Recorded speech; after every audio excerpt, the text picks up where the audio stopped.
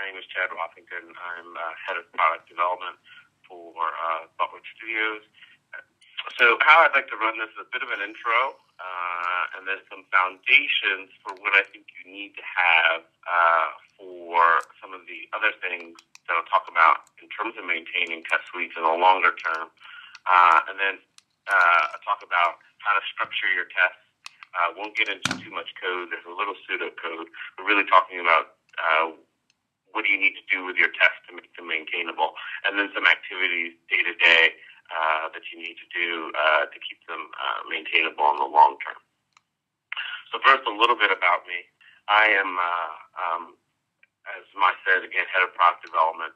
Um, but I used to manage our uh, product Twist, and I've had a long uh, career doing various roles in software development.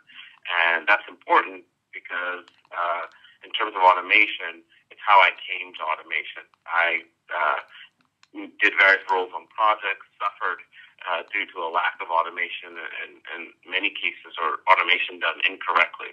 So I really took this up as a passion as something that I really wanted to fix, and subsequently uh, became involved with uh, Twist uh, to address some of these problems.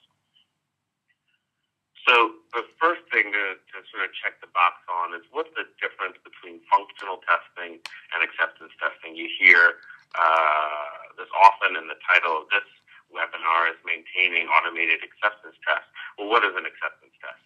An acceptance test is any uh, uh, test that verifies that an implemented piece of functionality, a story, or, or a requirement uh, meets the acceptance criteria that was defined for it. And acceptance criteria in the Agile world tend to be the things that say this makes a story done those things can be non-functional or functional. Uh, and they can cover a wide gamut of things like the performance of this page needs to be this, or a user needs to be able to accomplish uh, this other thing. Um, however, the majority of the time when people talk about acceptance testing, they are talking about the functional bits. And so the the core of this presentation uh, is going to focus on the functional bits. Obviously, you do want to automate other parts of the acceptance uh, testing uh, chain, like performance testing or load testing. But we're going to focus uh, this talk on the functional aspects of, of acceptance testing. So uh, this webinar is part of our continuous delivery series, and the book Continuous Delivery, uh, written by Jez Humble and David Farley, focuses a chapter on uh, automated acceptance testing. And automated acceptance testing is really important for continuous delivery uh, for several reasons. One, um, to, to be able to have a real deployment uh, pipeline that uh, is reliable and, and repeatable, you need fast feedback at all stages of the pipeline about the state of your software. So you need to be able to know, okay, I made this change to my software. Is it working? And automation allows you to run tests quickly uh, so that you can get that feedback. Um, the other part of the deployment pipeline is that you are starting from what may be a developer build something simple and moving your your code to uh, to production in a path where your environments get more and more production like. So you may have a UAT environment performance testing environment. You may have a security testing environment. You may have multiple QA environments. These environments, as you move them, uh, as you get closer and closer to production, should be more and more production-like. And you want to be able to get feedback from those environments. Having automated tests that are portable, that you can put run here, run there, run in different uh, configurations really help you uh, manage that. And if you're running your software on different platforms, the ability to check does this work uh, on Firefox, does this work uh, on Internet Explorer, does this work on Windows versus Linux? That portability is really important because it saves a lot of testing effort. We also see uh, in a lot of organizations that the testing cycle really comes at the end of the software development process. So people do agile development up front, and then there's this handoff to a separate QA group, and that QA group has some defined amount of time in the project plan to, to do a bunch of testing, and that takes uh, that takes time at the end, and it um, reduces the ability of teams to respond to whatever's found in that last stage because it's at the end and it's a fixed amount of time. So really being able to reduce that cycle time and say, hey, you know what? We need to know right now, uh, and we're not at the end of this release cycle, what the bugs are so that we can fix them. And lastly, better time allocation. Uh, if you build an automated, uh, particularly a regression suite that is uh, comprehensive, then you can spend less of your time doing the, the manual uh, regression activities that are beneficial, but ultimately the marginal benefit of doing it manually decreases over time. Uh, so that whatever a, a machine can do, a machine can should do, and whatever people are good at, people should do. So the headline really is that CD uh, isn't possible without strong automated acceptance testing. But uh, automated tests are difficult to maintain. And I think there's three classes of problems. Uh, there are more problems than this. These are the excuse me, uh, the big problems that people tend to see. Uh, and the first is what I call reference or locator brittleness, meaning that if I'm testing at the GUI level, there are these things, objects, buttons, etc., that uh, have um, possibility of moving around, changing their name, changing other associated metadata about them, and then they're hard to work with. Or the way I do something, uh, I may log into an application, the way I do that may change, and that creates brittleness. Uh, functional testing is fundamentally an imperative problem. Uh, they're in an object-oriented world. So back in the 80s and 70s, when people did mostly imperative programming, that kind of style actually suits functional tests very well because I'm doing step one, step two, step three, step four. But our tooling today and how we develop software is more object-oriented. And so how do we bridge that gap? How do we do something that is fundamentally imperative? That's not like building a system that has a domain uh, and how do we use object-oriented tools to do that? And then the last uh, um, area that tend to be difficult to maintain is what Martin Fowler refers to as non-determinism, or what you'll commonly hear as flaky tests. And so um, often people have a test that is functionally executing correctly, but is failing for a myriad of, of other reasons. And actually trying to maintain the test, uh, given all those failures that are um, that are not deterministic, is difficult. So this talk is going to focus on doing strategies uh, to help you uh, avoid these problems. So some foundations. Uh, the first thing is you want to get your manual testing house in order. Uh, and what that means is that your manual tests are not expressive they're not declarative, and we'll talk about declarative a little bit in a little bit. Uh, they're not modular. They're not clean. Then you don't want to start uh, from your uh, your manual test uh, as a as a foundation. My first job out of college, I was a uh, product manager uh, for .com, and the whole organization uh, used to test the app uh, at the rollout, and we used to get these test plans that were so obtuse uh, because they said, click this button, do this thing, do this thing. But we never quite understood what we were supposed to test. And even I was a product manager, so I knew the app well, but I didn't understand what the point of the test was. I was just executing it because that's what the piece of paper said to do. And you need tests that are comprehensible by humans. Uh, like, what's the point of this test? What am I trying to accomplish as a starting point before you start to automate anything? Uh, and if you don't have that, uh, you should start over uh, and not try to automate uh, what's broken. The next is choosing your technology to automate in. Um, and uh, I actually have written this slide. You see the, the points here. They're actually in priority order. And this is one of the things that I see a lot with teams uh, choosing test automation tools. They don't choose these things in the right order. So, for example, uh, people like to choose a tool that fits with kind of their style, which is a good thing. All these things here are important.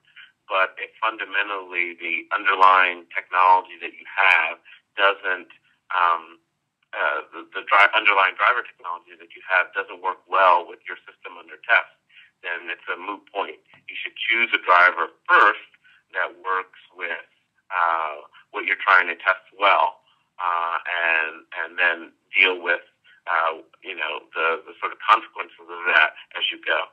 Um, above a driver, you need to choose a clear um, framework, and we'll talk about frameworks uh, for reuse. Uh, in my experience, broad driver strategies scale for about a year or two. So that means I go download uh, Selenium or something like that, and I try to use it, uh, or even a commercial grade tool, and I haven't put a framework on top of it, and I'm writing raw scripts. That I can do that for a year or two, and then the scale of that will be unmaintainable. Um, test writers uh, and readers also need to become fluent with the framework. Uh, and again, we'll talk about what that means a little bit later uh, in the talk. You need to choose a tool where that's possible.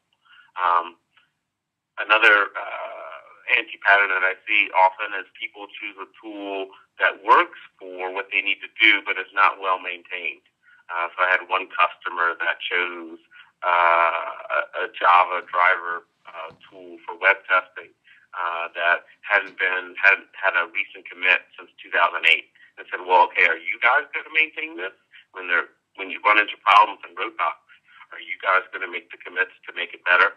Um, you, you have to choose something with an active community, something that's actively maintained and thought about and has a direction. And then lastly, as I mentioned in the beginning, you need to find something that fits into your team and your workflow and how uh, your organization is structured uh, and how tests are executed. And we'll talk a little bit more about that later as well. So there are many drivers. Here is just a, a small smattering of drivers, uh, ones that I tend to think are good across different technologies. There are many. Um, and if you are embarking on an automation effort, you should, and these are all uh, open source, but you should test your drivers. If, if you're doing web testing, what you say is, well, okay, we're doing web testing. Which driver fits what we're trying to do the best? Often you see people say, well, I've used this thing in the past, and so therefore, since I'm fluent with it, let's use it again. And that is definitely an anti, uh, anti-pattern because the technology that you're testing uh, could uh, differ pretty uh, substantially uh, by by driver. So pick a driver that really fits uh, what you're trying to do. The next point is that the driver that you choose needs to be uh, driven program, uh, programmatically. Um, uh, writing tests in XML, HTML, Excel spreadsheets where there's no underlying code structure for you to write against and maintain is not maintainable in the long term. Uh, and we know, you know, Selenium started out with HTML files, um, and then RC uh, really made Selenium popular. Uh, you cannot maintain uh, a bunch of Excel spreadsheets uh, as your main uh, level uh, of, of driving your drivers. You need uh, uh, programmatic control. So next, there are frameworks that are um, uh, on top of drivers that help you uh, express your tests and maintain uh, your tests in the long term. And I'm going to talk about a few. So JBehave is the granddaddy of behavior-driven development tools. It's Java-based, and it allows you to basically write uh, scenarios that are based on the Gherkin syntax uh, and link those to uh, Java scenario classes. Cucumber is uh, similar to JBehave, but it started out uh, as a Ruby um, um, uh, framework for uh, acceptance testing and behavior-driven development. Uh, it now supports multiple technologies, and it's a similar style to JBehave in that you have uh, the specifications there in Gherkin uh, syntax, which I personally don't like, but that's neither here nor there. Um, and uh, you can link code to define a particular step. We have Twist, uh, which is what ThoughtWorks Studios has addressed, uh, has built to address this problem. Twist is not only a framework uh, which allows you to link code and conceptual steps, but it's also uh, an IDE which allows you to do a lot more complex things in terms of managing uh, functional tests, and I'll go into some of the kind of concepts later. And then the granddaddy of uh, um, specification-based testing tools in general is FIT and its uh, successor FitNesse. And uh, for those of you who don't know, FIT was created by Ward Cunningham, who is uh, also also the creator of the wiki. Uh, he created FIT actually on a ThoughtWorks project, uh, and FitNesse is the wiki implementation of FIT. So structuring tests. You've chosen a driver, you've got a framework.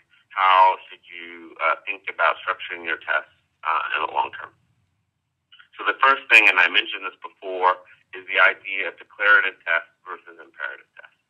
And the main distinction between something being declarative and something being imperative is that when I do something declarative, I have no concern for how it's done.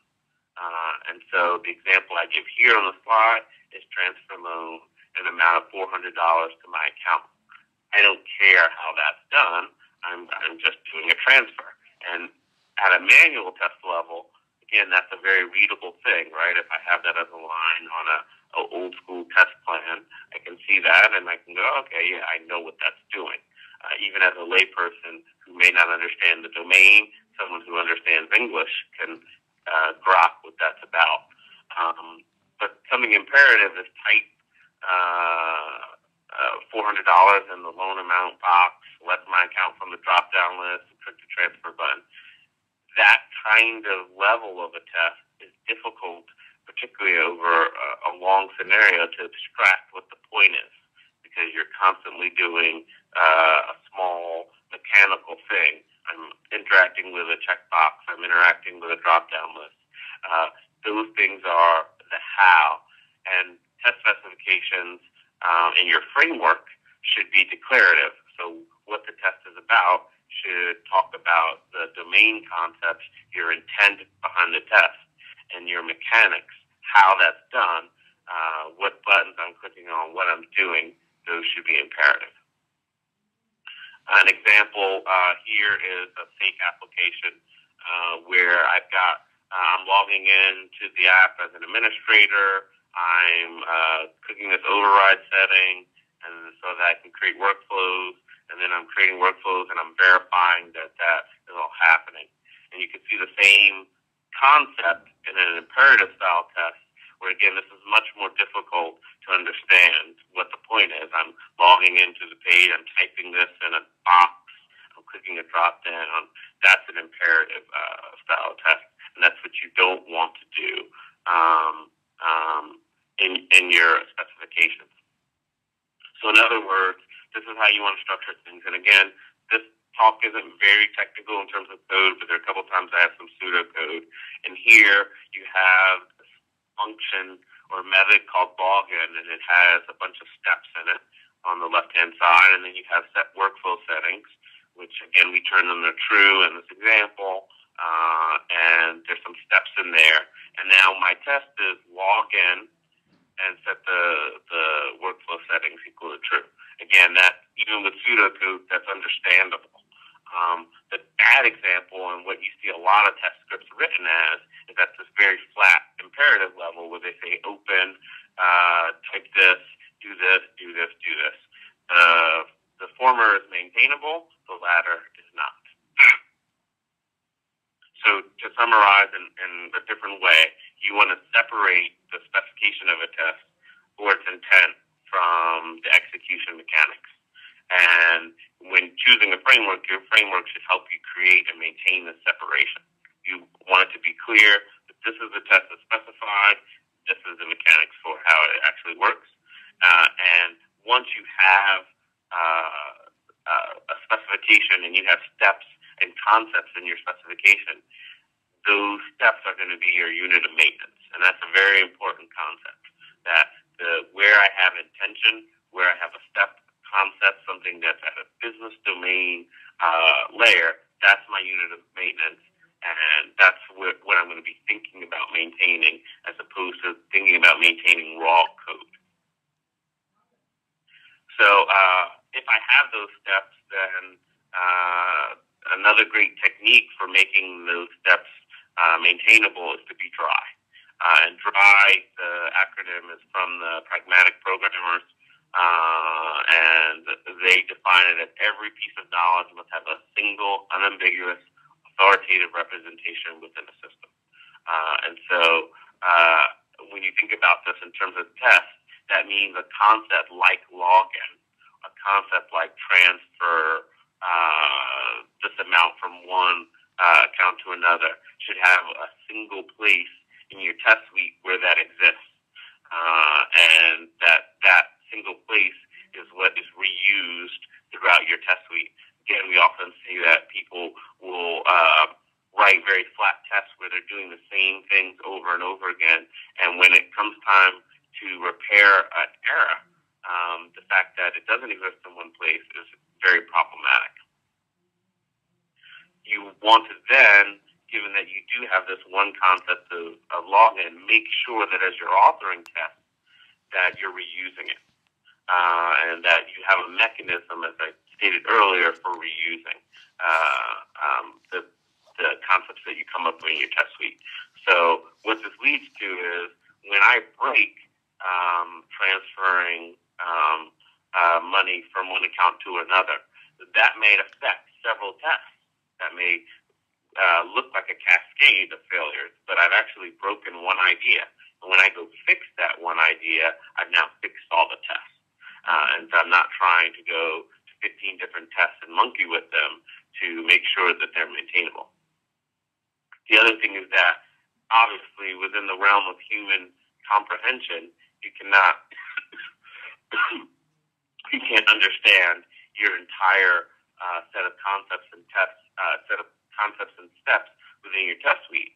Uh, and so they need to be discoverable. Uh, so if I wrote something two weeks ago or I wrote something two months ago, how do I uh, know what's there when I go to write author a new test?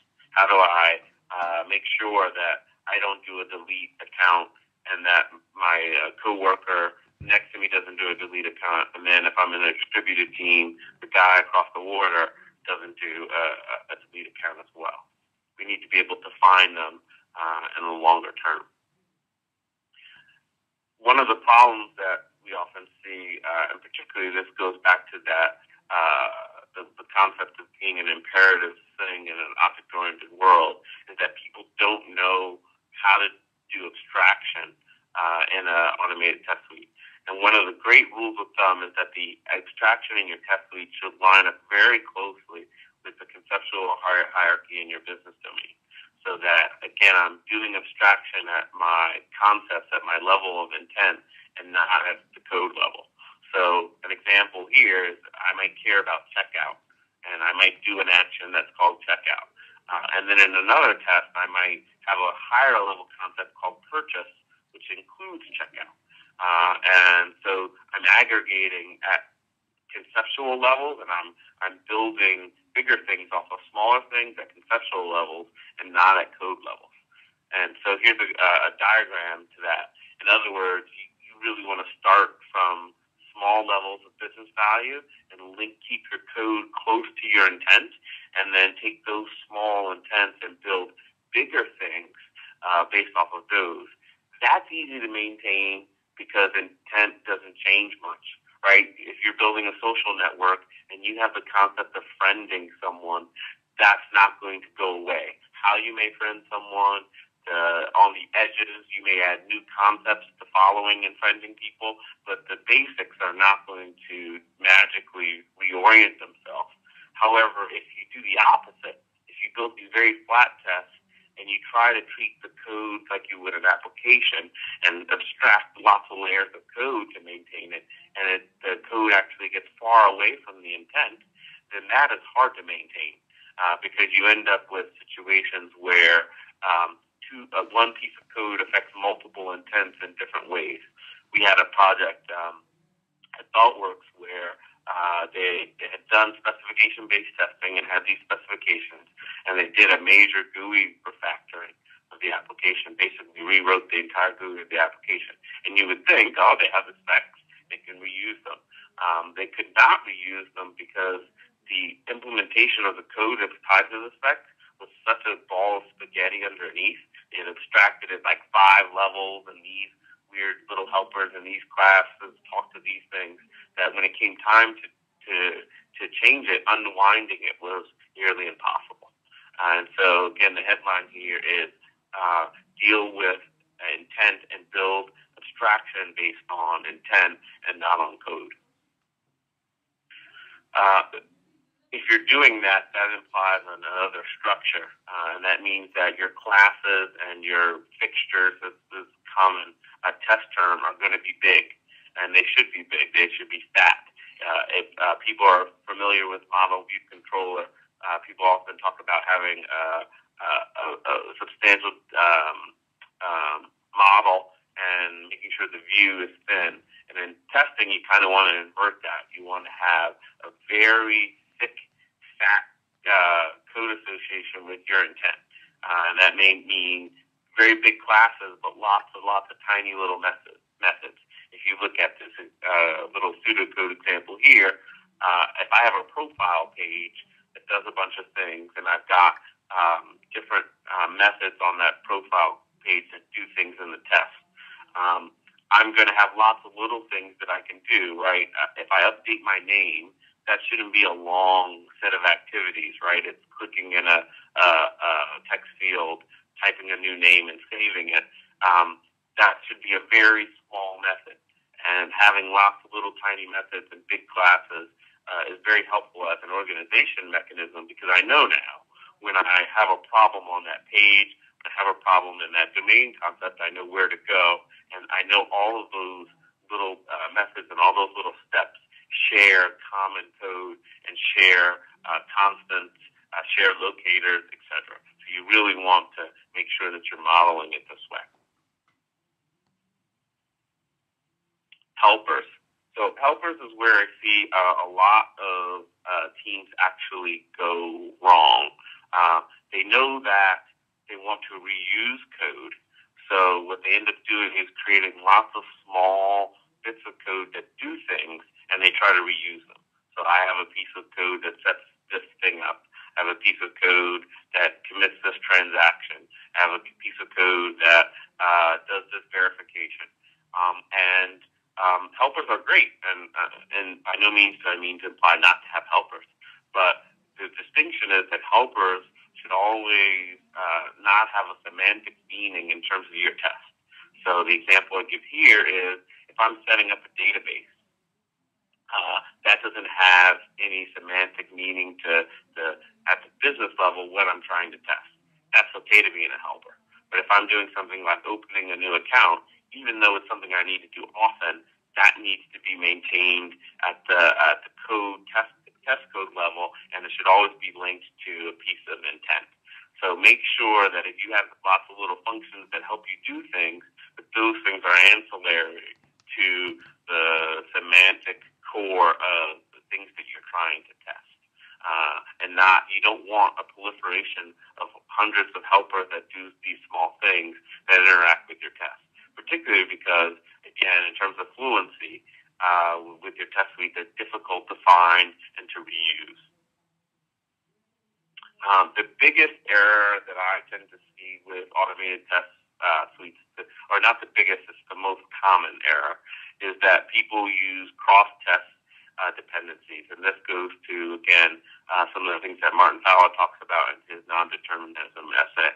Uh, but using one test to set up another because the setup is expensive is a problematic uh, way to understand if your test is actually validating things because you can uh, create cascades.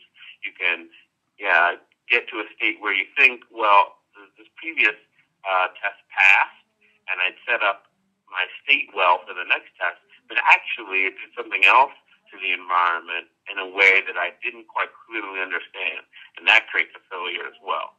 Um, so you, you want um, each individual test um, to, um, um, um, to, to, to, to set up itself and not have um, uh, these cascades that result from cross-test dependency. And you, to do this, you really need to invest in quick setups and teardowns.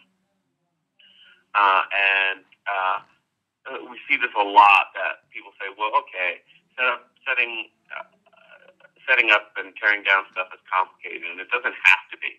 One, your framework should help you manage it, um, but um, you, you need to be mindful of all the things that constitute a setup, whether that be the environment configuration, network configuration, database, and the data.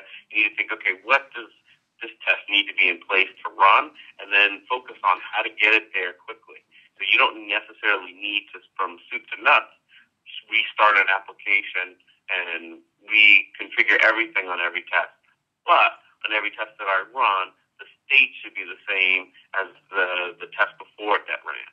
So if I uh, if I monkey around uh, on one test, that test needs to restore the system to the state it was before I monkeyed around. And if you keep that as a uh, running thing that every test does that, okay, I created some project data um, to make this test. I verified it, it all worked. Now I'm going to get rid of that project data so that I can start from that clean state again. Then you'll uh, be able to maintain things much easier.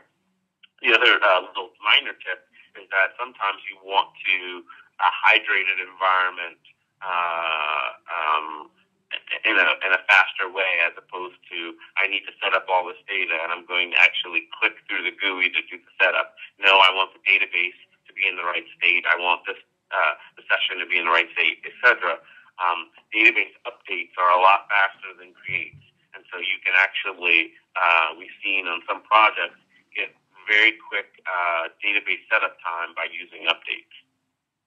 Uh, the last point here is that if you want to move in terms of continuous delivery to reducing that feedback cycle time, getting your tests to run very quickly, you're going to eventually need to parallelize them. And if you have uh, uh, tests that are dependent, if you don't have clean setups and teardowns, you're not going to be able to uh, to, to run those tests in parallel. We um, open source a thing called Test Load Balancer that uh, works well with Go and I believe a few other continuous integration uh, uh, type servers uh, that allows you to say, here in my test suite, it looks at the execution time and it says, okay, how can I parse this work out to a series of uh, build agents to get the test time down low? If you don't have good setups and teardowns, you can't take advantage of that kind of tool. Uh, so I mentioned object pattern a little bit earlier, uh, but this is a common uh, way of organizing fixtures or your, your test classes. And that is basically any um, uh, part of your application that could be described as a page, and this obviously differs from web apps to thick clients, etc., that I would encapsulate all of the functionality that deals with that uh, representation in one place.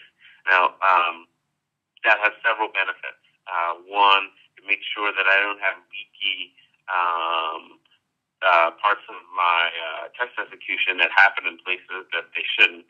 So I know that on on the profile page that these are the actions that happen on the profile page. Um, uh, the page object pattern classically uses uh, method chaining where uh, every uh, page object, when it does something, returns another page object so that you can make sure you're uh, internally consistent in where you're navigating in your test. I don't think that's necessarily that important, but it's a nice, nice to have.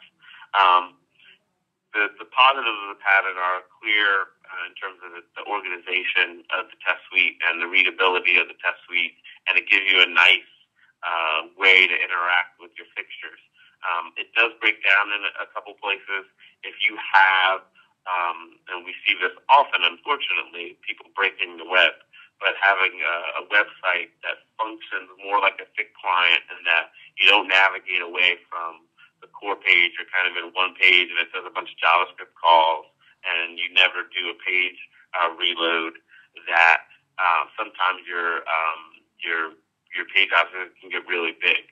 Similarly, if you have a site that uses a lot of the same page elements across each page, then it might not be the best organization mechanism if I already always have this right hand sidebar that does these things. I always have this left hand sidebar that does these things.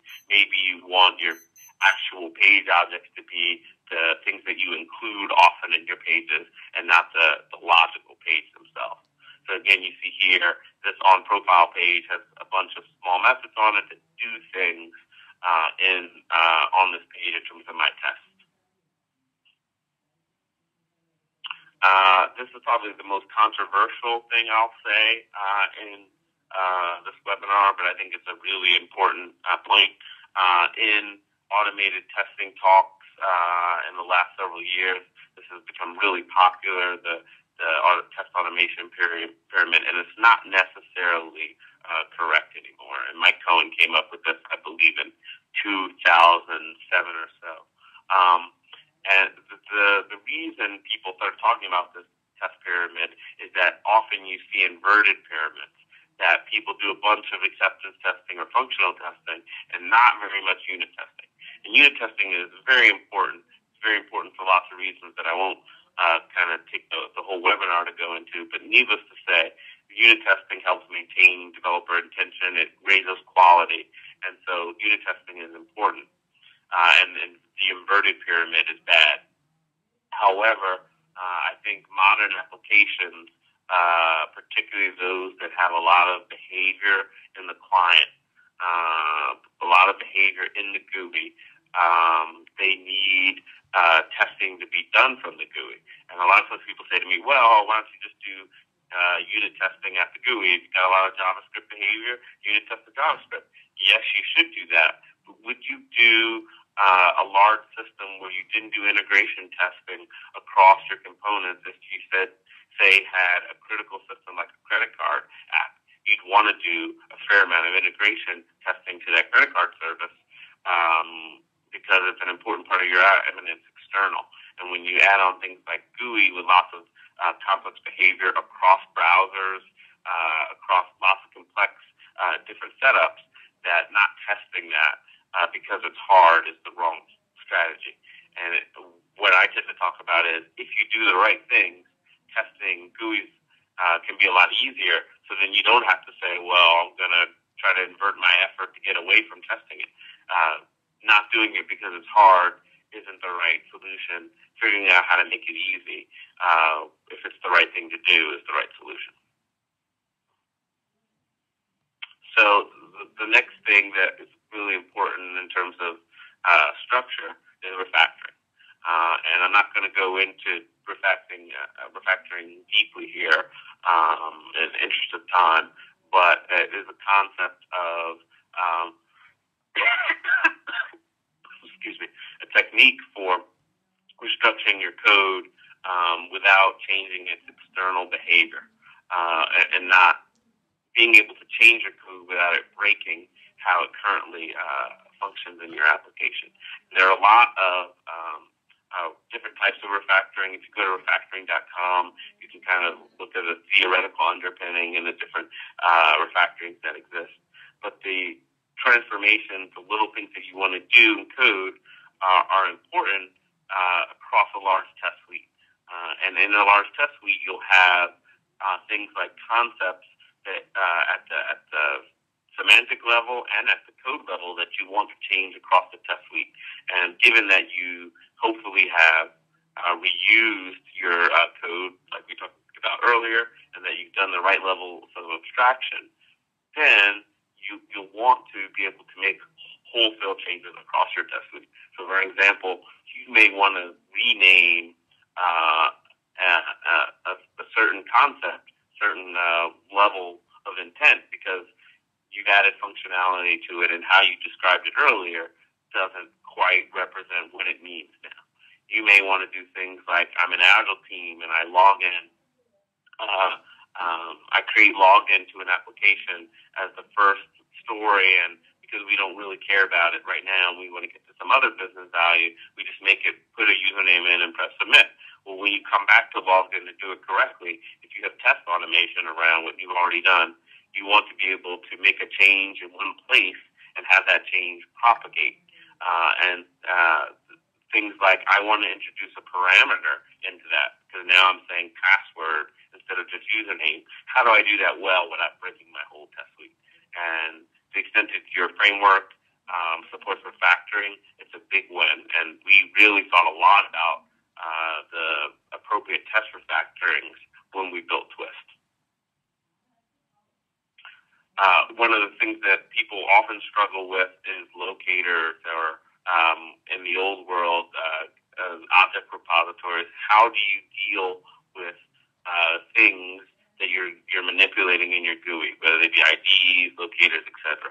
Um, the first thing is to keep it dry. Uh, that if you're dealing with uh, a button that does something, that that button should exist in one place. And I think a lot of the object repositories and, and uh, older commercial tools try to deal with this by, you know, creating this large system that you had to do discovery on and object recognition. Uh, it doesn't need to be that hard. Um, what you need to do is use things like constants uh, in your uh, classes. Like this is going to be the username field, and this is how we'll refer to it um, via this locator. Or you may use property files, YAML files, something external to your code to list all the um, uh, locators by uh, uh, by the thing that you're locating and group them in logical ways where you can refer to them later. So I know, hey, these things are changing. I have one clean place to go to, to make changes.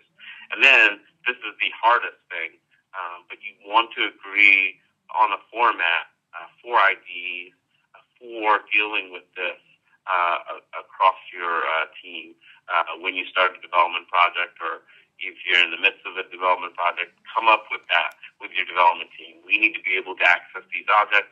We don't want to use XPath and crazy expressions please help us do that and let's agree on logical names. The other thing that you can do is depending on your driver, you can also get away from using complex XPath or complex means of identifying some COM object uh, by um, by making sure the tool supports an easy way to reference an item. Uh, so uh, we, what you're really trying to do with your locators and IDs is making it simple for you to change them and also try to agree on a predefined way of naming them and, and interact with, interacting with them so that you don't create overhead for yourself. Day to day things to do, and this is less about structure and code, but ways to think uh, as you kind of go through this maintenance process. First, you want to do scenario planning and pruning. Um, one of the most common mistakes that people do when they get really going with an automated test suite, uh, particularly an acceptance test uh, suite, is that they start doing story level acceptance tests. Oh, I'm going to crank out a story. Oh, I did a story, and now what's the, the test that goes with that story? Quickly, that balloons to lots and lots of tests, and those tests aren't always relevant because stories are temporal and they're additive. I have story that does this thing now. I'm going to write a new story on top of that that changes that functionality. And now, if I've done a bunch of, if I just blindly create a story level acceptance test for every test, I've got some duplication there. What you really need to think about is what's the, the user um, journey? What is the user going through? Again, at the business domain level, what are we trying to accomplish? And that scenario be a, a test. And then when I have a new story come up, I say, well, if this new, can I bolt this on an existing test that exists? Uh, should should I uh, modify this thing that exists? Should I throw away this thing um, that uh, already exists? And you want to uh, constantly be um, uh, thinking, evaluating: Does this test need to exist? Does this test add to what we're trying to test? And and can I continue to augment what I already have to get the right level of coverage as opposed to blindly creating new tests. And you want to prune things uh, where it makes sense. I've seen tests that uh, test suites that were thousands of tests um, where you the, the actual coverage and what they were doing wasn't that high, and that when you refactored the test suite down to something more reasonable, you had less te- test suites, uh, less tests rather in the suite, and better uh, coverage of your overall application. The other thing is that sometimes uh, when tests fail, people fix them automatically instead of saying, well, um, is this test actually a valid test anymore, or do we just keep it around because it's there? The caveat to that is sometimes people delete tests they don't like, and you shouldn't do that. But you should really look at is there a value of this test? Are we already already testing it somewhere else? And does this uh, does this test make sense? Um, lastly, um, many people start out with automation by automating the happy path, and that's fine. Uh, in my other talk on how to move from manual to automated testing, we talk about how to branch out from, from happy path. Uh, you want to look for opportunities as you're looking at your scenarios constantly to say, all right, we've done just a happy path here, but we need more negative paths uh, in, in our test, and, and here's how we're going to add them, and here's how we're going to do it.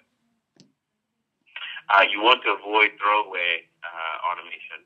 Auto, throwaway automation happens, and it's fine uh, but you want to orient yourself to say, hey, how can I maximize my activity here such that my automation is not sucking up all my time? Uh, and again, if you follow a bunch of the techniques that we talked about uh, earlier, so you make things reusable and modular, and you write uh, journeys instead of individual story level acceptance tests, and you're refactoring.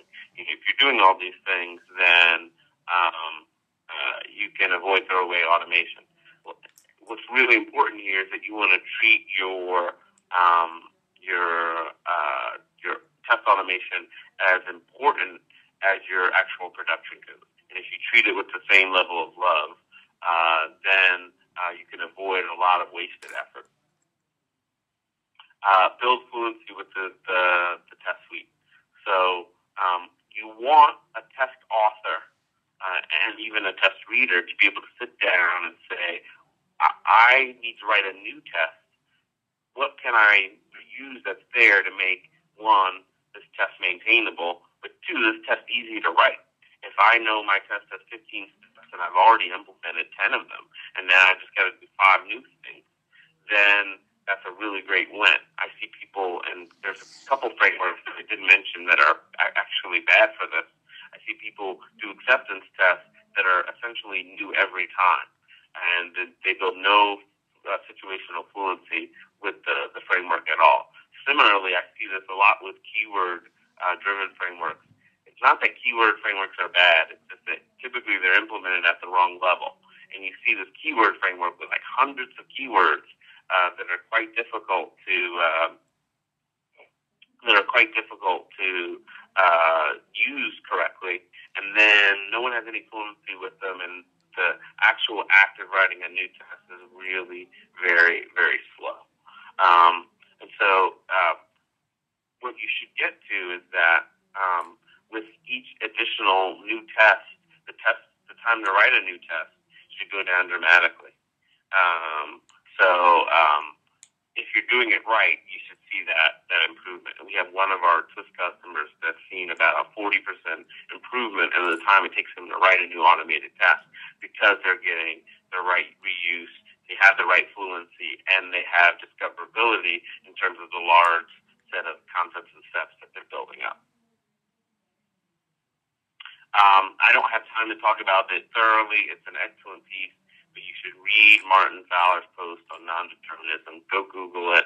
Um, it talks about how to isolate tests. It talks about the common reasons for flakiness like asynchronization, which is a huge thing. If you have an app that requires sort of asynchronous um, um, uh, activity, that's a real ripe ground for uh, for, for problems and, and flaky tests. So please go read that. We'll cover that in, in the webinar. And then lastly, uh, you want to upskill. So again, uh, there's this, this tension between uh, test automation, particularly for acceptance tests, being very imperative, uh, and the way that we write code down being object oriented. And that, that there's a lot of benefits to object orientation. So you want to use object orientation, but realize that test um, automation isn't rocket science. It doesn't have to be hard. It's when we don't apply the right techniques, the right ways of organizing tests, that it becomes quickly unmaintainable. Um, and that uh, it's actually, uh, you don't need to have the most technical team in the world to apply these techniques and get a long lived, maintainable test suite. Um, and learn uh, dynamic language or use one if it's fits appropriately into your uh, team and your uh, org uh, setup to test because um, they're, they're very productive, particularly in terms of you know the the um, old derogatory term of calling them scripting languages. You are writing things that look like scripts with imperative mechanics and tests and it's great to have a dynamic language to be able to get some productivity there. There are things like um, how uh, Groovy and Ruby and Python have libraries to deal with certain things that are quite onerous in uh, some other languages that, that, that are really simple. And then my, my final point, uh, we talked a lot about automation. You really don't want to get lost in the automation. Sometimes as technology people and uh, you know, I'm definitely guilty of, of this myself. We geek out on the technology, and often we see people geek out on automation. And really, what automation is about, it, it's about it's about the testing and having that fast feedback and knowing that the application you're releasing into production is in the right state. So don't lose track of the testing part in doing the automation because it's not an end unto it, uh, an end unto itself. So um, that's my talk. I'm a little over in terms of time for questions, but uh, time for questions now. Anything?